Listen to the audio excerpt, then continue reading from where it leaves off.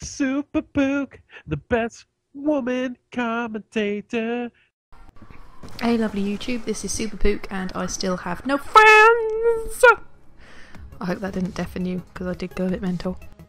A quick note about the gameplay this is a swarm gameplay on cargo. Someone on the enemy team gets a swarm in a care package at the beginning, so towards the end, I felt I just had to get a real proper dogs VSAT swarm kind of thing just to make them feel really, really shit. So um, I hope you enjoyed that. It's with a PDW and it's it's a little bit more rushing than the other swarms have been that I've got so far. I woke up on this lovely Sunday morning. I looked on Twitter and some of the first things I saw were drama. So I left Twitter, I went on YouTube, I watched a few videos. And again on my feed drama pops up. So I just want to do a quick video about YouTube drama and my approach to it. Um, and I'm sorry if my voice is a bit weird. I've got a bit of a, a manky cold going on at the moment, so I sound like I'm straining to speak, like I'm doing a really big boo. Essentially, YouTube drama, Twitter drama, whatever drama. let's be honest, it is. It's not drama. It's bullying. It's picking on someone and getting your friends to join in. It's it's not a discussion, it's not an argument, it's a one-way, one-sided attack, presenting your view without allowing a balanced or immediate response. It's saying, "Here, I've made this video saying how much I hate this person, what I don't like about this person. Everyone like this video, everyone support this video, leave your comments below." It's it's picking on someone, it's bullying someone, it's so taking someone's power away to engage with the, the people that you're calling in to join in the fight, they can't talk to those people and say, look, this isn't fair, you don't know me, please don't join in on this fight. It's essentially it's, it's turning someone into a victim, it's victimization. So YouTube drama is not drama. Most of the time it is not drama, it is bullying and that is the worst form of, of this this kind of this drama.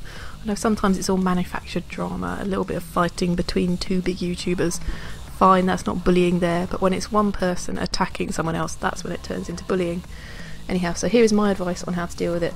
First of all, if you're an onlooker rather than if you're the person who's actually kind of the subject of the drama, I would say if you're an onlooker, don't weigh into the fight. The chances are you feel like you should pick a side if a friend is involved. However, if you publicly pick a side and if you start weighing in, all you're going to do is actually make it worse for your friend. You're going to exacerbate the drama, exacerbate the problem, because what you're doing is you are creating a bigger audience for this drama, for this spectacle, for this fight. And the bigger the audience, the bigger the stakes, and the worse the problem is going to get. If you step back and don't take a part in it, once it's all over, you're going to have a really good picture of who was bullying who, who was being victimised, and who actually warrants your respect after this fight is over. If it's between two people you know and like, once it's over, you're going to know who the victim was and who it was who started it, and who actually behaved well throughout it. The problem is, if you engage in the drama, if you do pick a side, it becomes a proper fight for the instigator, and it becomes even more painful for the person who's being attacked by all means let that person know that you're still their friend. Let them know you're not agreeing with their attacker. They don't you don't want them to feel isolated. You don't need for them to feel isolated. But don't wade in and attack people because it will make the arena larger and the fight more of a spectacle. Talk to them about something else entirely and advise them to ignore their attacker as well. Talk to them about what games you're playing at the moment. Talk to them about other stuff. Tell them that if it's YouTube, tell them that you've liked some of their videos that you recently watched, just so that they feel something friendly is going on around them. Okay, so now if you're a victim of this drama, or no, let's call it if you're a victim of this kind of bullying form of drama, what do you do? Well, I would say these are your options. A, make a video responding to it. B. Tweet to all of your followers asking them for support. C. Subtweet, as in tweet about someone without using their actual Twitter name so that they don't get the mention. Subtweet about this person, bitching about them. Or D. Step back, say nothing, recognise it as complete knobbery, and wait it out. I think you know which option I am going to say is the best one to take the best course of action is to step back, wait it out, and ignore it. If you're in the right, if there is a right, then the decent people aren't going to side with the other person just because you don't respond. The time and your lack of response is going to show this other person to be the knob that they are. You don't have to ask people to choose, to engage and pick sides. You can let them see that you're not a twonk who fights over the internet and carry on tweeting as usual while this other person subtweets you. Just tweet about what a lovely day it is and how cuddly bunnies are. They will look ridiculous.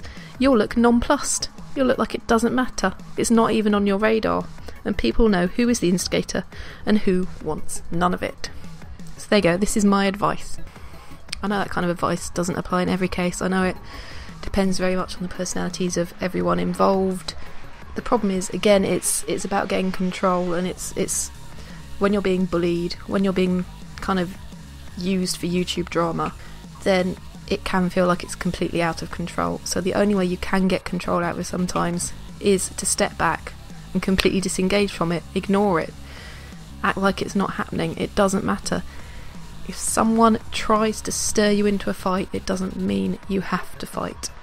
Cut it off at the root, don't let it infect your bloodstream, and you won't turn into a rage zombie. Alright, I hope that's helpful, everyone. Um, and I have no sign off. Bye!